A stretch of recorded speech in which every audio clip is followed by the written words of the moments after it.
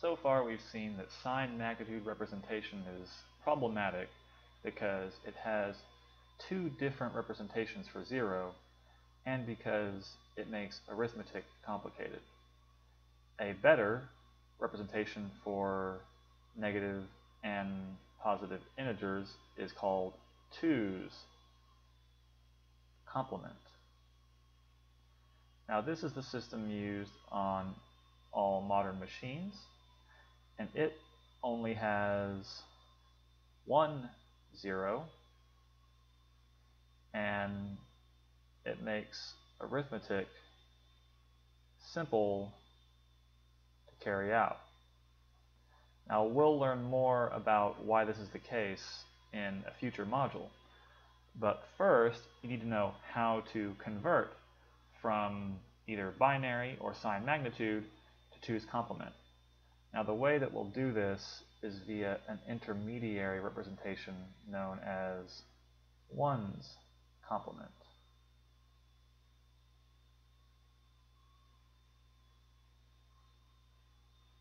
So let's work an example. Let's start with the decimal number 90. And at the same time, we'll also convert negative 90 so that you can see the contrast between how they're handled. Now, in signed magnitude representation,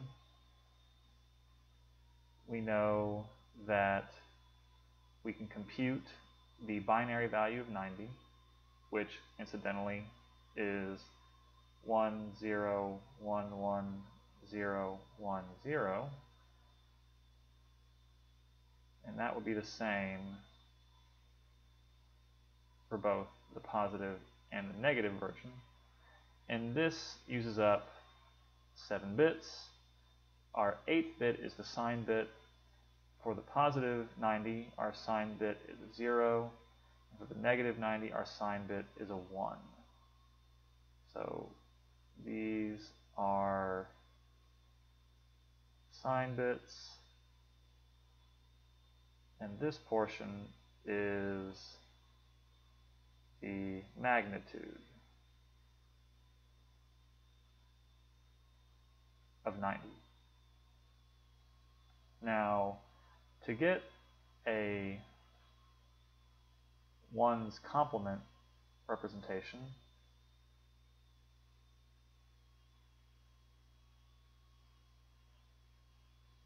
you'll see that for the positive value, we actually don't do anything.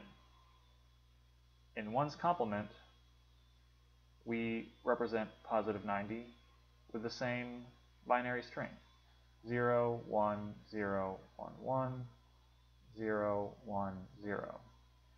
Once again, this 0 represents a positive sign.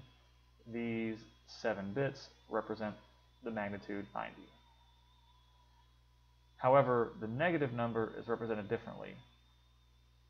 We will still have a 1 here to represent a negative sign.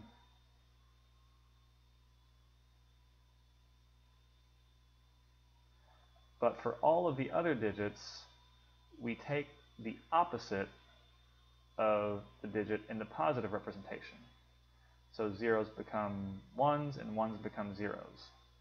So we have 0, 1, 0, 0, 1, 0, 1.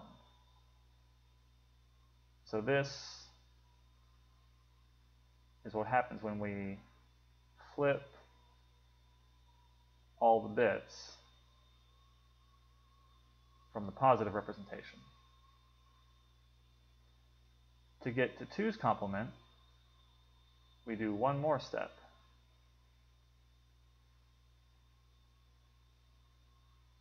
At least in the case of the negative number we do. The positive number is, once again, the same. Positive 90 in 2's complement representation is simply 0, 1, 0, 1, 1, 0, 1, 0. Once again, this 0 here represents a positive sign, and these bits indicate that the value is 90. To get the negative representation in 2's complement, we take the 1's complement representation and add 1 to it. So if we add 1 to this binary number, 1 plus 1 will be 0, and a 1 will carry into this slot. The remainder of these digits will be the same. So our result will be 1, 0, 1, 0, 0, 1, 1, 0. So this still indicates the sign, but this is the result of adding 1 to the 1's complement representation.